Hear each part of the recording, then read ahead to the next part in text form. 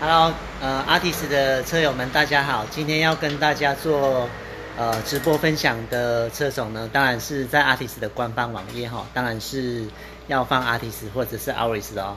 今天的 Artis 是南投的车友哈，他的车呢是九代的，一一年是不是？一一年，好，一一年哈。啊，十代的哈，这个是十代的。好，我换个镜头一下。好，这台是十代的哈。那它的呃改装呢？哦，这个是有金鸿大哥的 ES E Spring 的那个拉杆，然后今天要安装的东西呢是 KT 道路版的避震器。那 KT 的道路版避震器哈，呃，在车 Artis 的车友里面哈，KT 的话是真的是很受大家欢迎的哈，而且我们工厂里呢也有提供试乘车，可以让车友们 Artis 的车友们哈试乘看看。那避震器呢，就是呃问我好不好做，一定是不客观嘛哈。老王卖瓜，问我的话，我一定会说好做。所以呢，就是很希望大家呢能够来试乘看看，那觉得产品有 OK，再来做安装就可以了哈。那我们来介绍一下 Artis 的前面避震器，它的避震器呢，十代、十一代哈，大概都是在这个位置哈。它有因为座舱有前移嘛，所以在前挡饰板的下方呢，就可以看得到上座。但是今天有一点暗哦，因为现在晚上了。来，上面的话呢有一个调整钮，KT 的 logo，那你就是调整阻尼的地方哈。从那个地方呢可以调整软硬，从这个地方，所以它是藏在呃前饰板的下方，就能够看得到避震器的上座。那 KT 呢都有附上座哈，Artis 的车款前面还有后面呢 KT 都有附上座，所以不需要拆原厂的零件来使用。就直接安装上去就可以了。Hello，泽凯你好，这一套是道路版的哈。道路版的话呢，呃，完工价是两万六千块，那高低软硬都能调整哈，所以它的功能性的话会比较多多方位一些。然后前面的话是配置了七公斤的摊哈。那今天车友的要求呢，前面大概两指半，后面大概两指幅左右。好，所以我们这里的调幅的话呢，降到最低就大概是刚好轮胎跟叶子板呢，差不多是切齐的哈。后面的话也能降很低哦哈。这是前面哈，前面的话呢，离载串还没锁好，离载串的固定点呢就是跟原厂一样，不用再改短的离载串，就直接锁原厂的位置就可以了哈。那它的前面的油管架呢，还有 ABS 感应线的扣具哈，这些都是跟原厂的位置是一样的。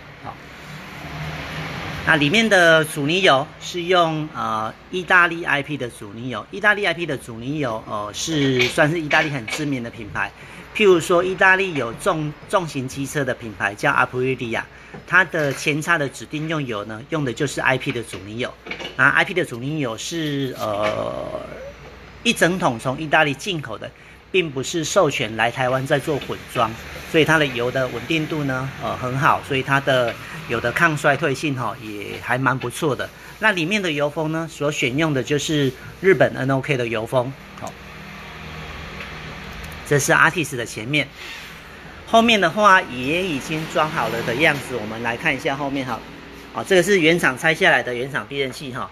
上座的话呢，就都不用再拆下来了哈。我们都有附上座，有附全新的上座。在拆装上呢，师傅也比较方便哈，不用再压缩弹簧。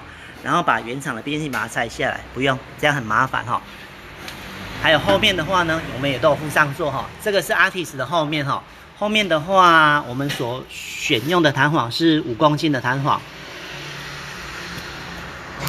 那它的下方的这个是下方的角座哈，所以今天后面的话车高的话大概会调整大概到两指幅左右，所以最低的话呢，后面也有办法到大概轮胎。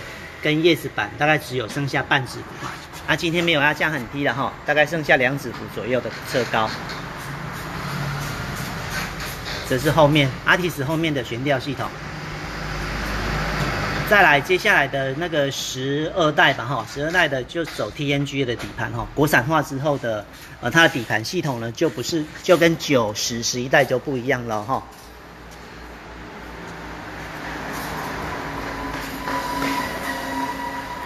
这个是它原厂拆下来的后面避震器，哦，它后上座的话就不用再再呃沿用原厂的哈。因为原厂的使用了一段时间之后，有可能会橡皮会老化了哈，然后零件会损坏，所以拆装上也不用那么麻烦，直接 KT 的呃装上车就可以了。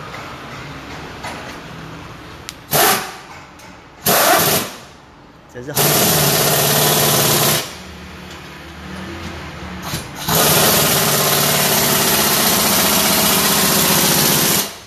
前面的话哈还在安装当中哈，右前还在安装当中。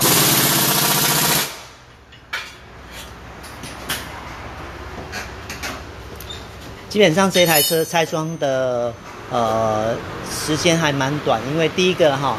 它原厂的悬吊系统呢，算很好拆装，在维修上面呢，对技师来说也很很很好拆装哈。那第二点是因为 KT 我们装这台车真的数量车友们真的很捧场，所以我们安装的算是熟门熟路，所以拆装时间呢就会稍比较短一些。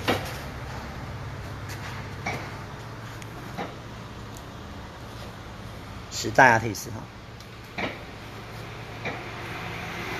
如果是十一代的话呢，呃，有一点不太一样哈。如果是 X 版的话，那它这一颗螺丝的是不同规格的。哦，如果车友有要变器车友之间有要交流的话，可能要特别注意一下。那边油管键还没锁哈。这个是右前。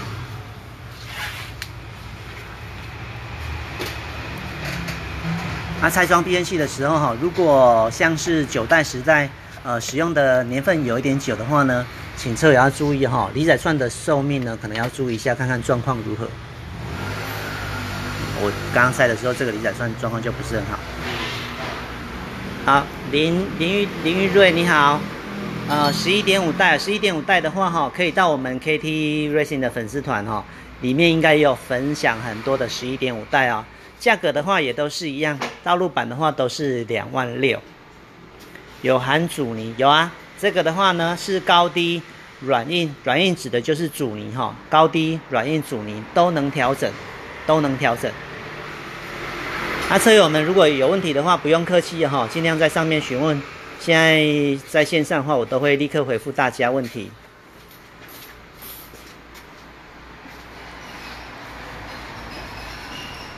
啊，线上的话也有我们 KT 北区的经销商哎哈，瑞哥想改避震器哦，呵呵，对啊，改了之后的话呢，操控性一定会比较好。那 KT 的舒适度的话，其实也都不错啦，很欢迎就试乘看看哈。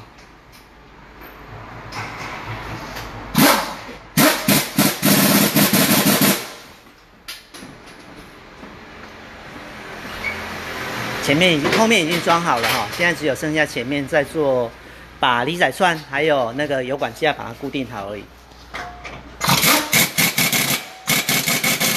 好，现在在锁离载串，啊，托盘还没有敲哈，所以等一下呢，车高的调整哈，其实就是从这个地方，我们把这个托盘呢逆时针把它松开之后，它的脚管呢往上挪，它的长度变短之后，车高就变低了哈，所以它的调高跟调低呢。并不是靠压缩弹簧来改变的哈，所以它调高调低的乘坐感觉，呃，都是一样不会改变。